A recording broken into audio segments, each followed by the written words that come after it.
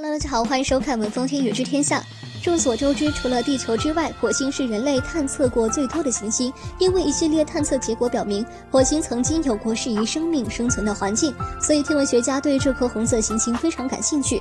不仅如此，很多天文爱好者也在关注火星。据国外一则消息称，火星上发现地下城入口。这是在谷歌地图的火星地图上发现的奇特地形。这个区域位于火星南半球靠近南极的地方。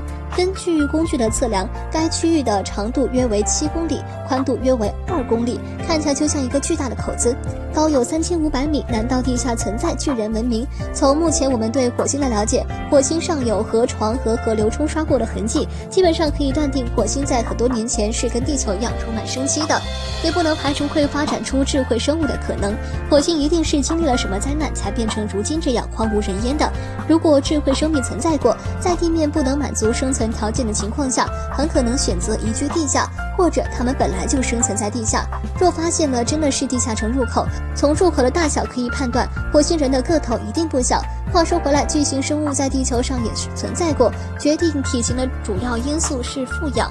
恐龙存在的年代，地球的氧气含量较高，所以那个时代的生物体型都很大。